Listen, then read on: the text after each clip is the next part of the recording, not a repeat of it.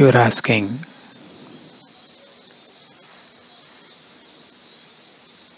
your daughter has psychosis. How can you be peaceful?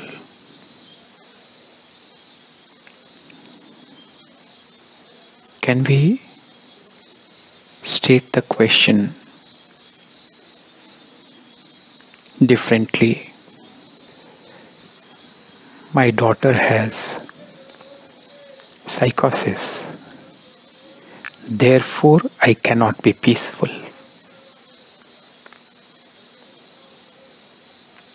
There are two parts which are divided by the word therefore. Some other similar examples could be My husband does not love me, therefore I am not peaceful. My children don't obey, therefore I am not peaceful. My friend ditched me, therefore I am not peaceful. My boss has not given me the raise in salary Therefore, I am not peaceful.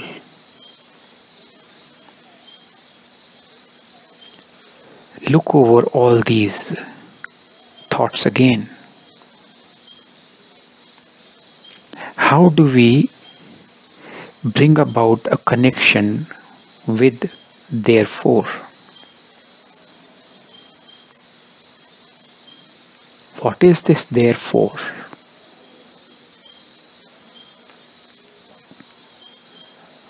It's only a thought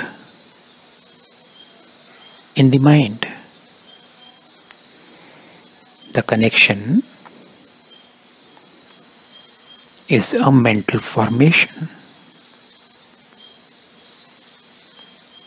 And we believe this mental formation to be real.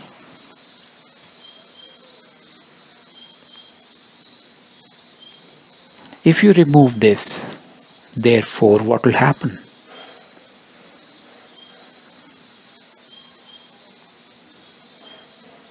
My daughter has a problem. Period. My children don't obey. Period. My husband does not love me. Period. My friend disrespects me. Period. My boss does not approve of what I do. Period.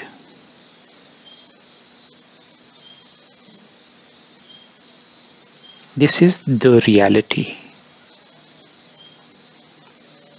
But there is a belief in my mind that this reality is not good, good enough, right? that belief is also a mental formation.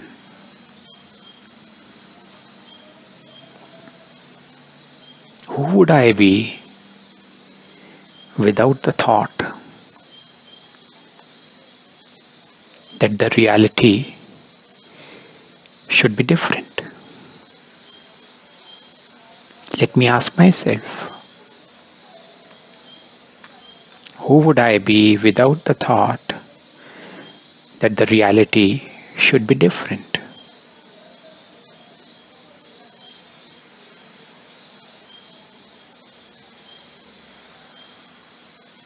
Acceptance flows.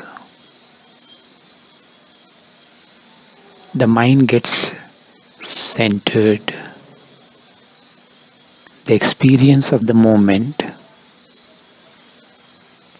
is beautiful.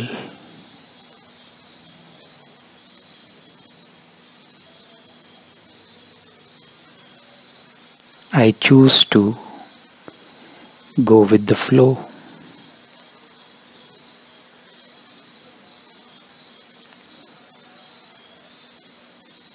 And How would I feel toward my daughter then?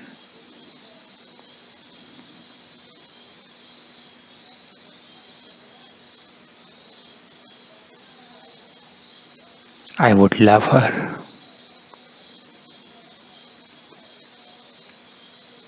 I would help her, but not from a state of disturbance, rather, from a state of peace. What do I prefer? I have to help her in any case, whether I do it from a painful state or from a peaceful state. That's the choice I have to make.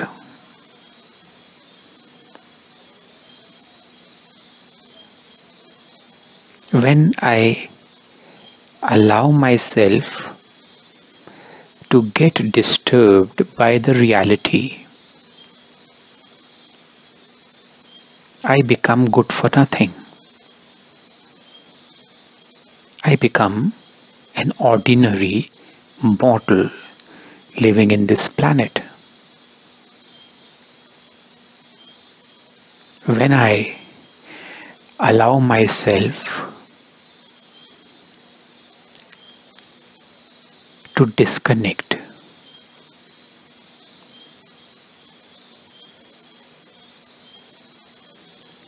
To stop resisting. To start accepting. I become a Buddha. Just because I don't like it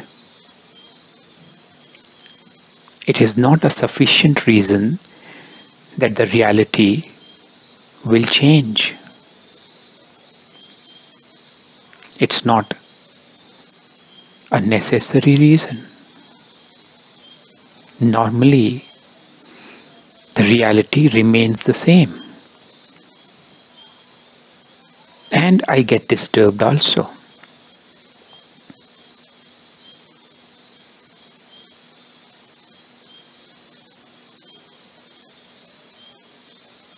I have been told time and again that problems are bad. Problems should not be there in life. Life should be smooth. Let me question whether these thoughts are true.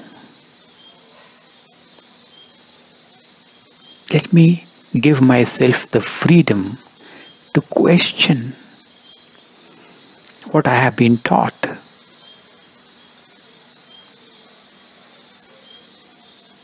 I realize that these beliefs are absurd. What are considered as problems by most people will always be there. There will be sickness. There will be hospitalization. There will be losses. There will be failures. But they will not touch me. They'll be innocuous, harmless. I will be able to use them as opportunities to practice my truth, to practice peace and love and equanimity and selfless service and freedom from the restlessness and pains in my mind. I'll do so much good in this society. I'll be a walking Buddha, freedom personified.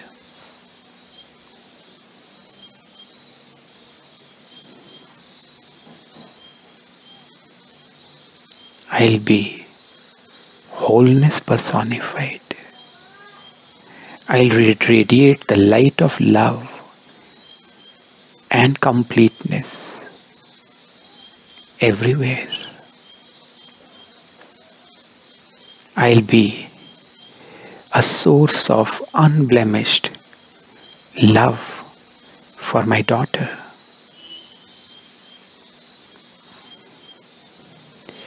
When I will serve her, when I will help her, it will be from a state of love, not from a state of pain. It should not be there is pain. Acceptance and doing one's best is peace. Please think, please meditate, please raise yourself by yourself. Please help yourself first, and then you will be a great source of inspiration, a great source of selflessness to everybody around you, to your daughter also. Thank you. Bless you.